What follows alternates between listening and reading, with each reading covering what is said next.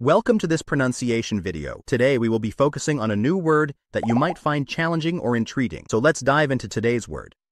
NASCAR, which means Stock Car Racing Series primarily held in the United States. Let's say it all together. NASCAR. NASCAR. NASCAR. One more time. NASCAR. NASCAR. NASCAR.